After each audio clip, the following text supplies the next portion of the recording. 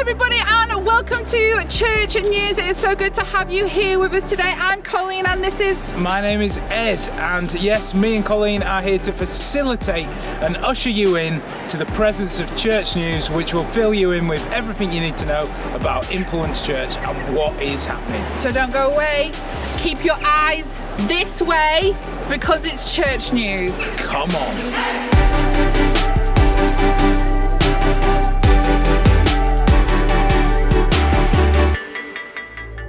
Richmond, Bishop Auckland and Barnard Castle half term is over. I bet some of you are so glad. Well, we want to let you know that this week everything is back to normal. So Mini Heroes is back, Elevate is back. There are tons of things going on for you to enjoy. So make sure you are there. If you're confused, make sure you check out our website.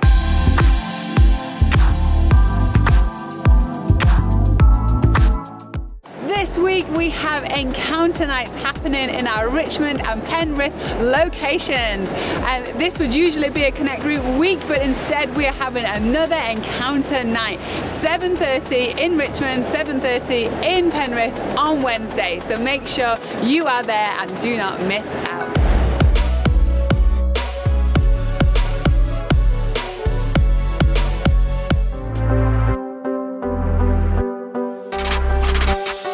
Hey church, we wanted to just take a moment and say thank you so much for all your prayers, all your support for our trip here to Cambodia. It's been a crazy week and lots of different changes to the schedule, but we have seen God being so faithful in the ministry opportunities that we've had, whether that's in children's programs in the village, uh, where over 75 young children came out to hear the gospel this week. We've had opportunities both in person and sadly on Zoom to do leadership training and to do preaching to the church, as well as mentoring with some of the team here. And we're just so thankful to you for your help and for your support and all, for the, all the messages of encouragement. We've had a blessed week, and uh, today we are coming home to you, and we're excited to be back in all five locations of Influence Church. So God bless you, and we'll see you soon.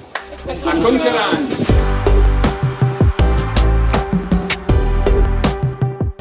Well, that has been everything for Church News. Uh, we're believing that you've been impressed Yeah. with what's happening in the life of church.